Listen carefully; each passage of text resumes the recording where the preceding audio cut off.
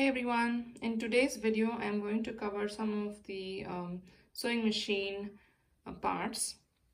We'll start with this area. This is called the throat plate. This is the uh, bobbin area and this is where you have the bobbin inside. It's called the hook plate because there's a hook inside here.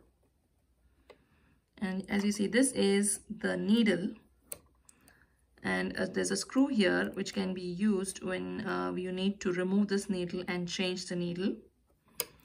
And this is called the presser foot. And then there's a screw here which is called the presser foot screw which can be used to remove this whole part and when you need to change to a walking foot or a free motion quilting foot. Then coming here you have a tension uh, wheel or a dial. Uh, this is used to adjust the tension. You'll need to change it based on the different fabrics you use and different threads. This is the top thread and here is the bobbin winding shaft. This is the hand wheel and this is the switch, uh, on and off switch. And this is the electric plug uh, that goes to the socket.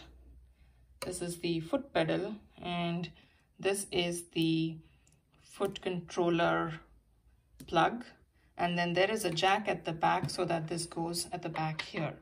Depending on what machine you have these may be placed at different places uh, but they serve the same purpose. Uh, I hope you got an idea of uh, the basic parts of the sewing machine. Thank you for watching. Take care. Bye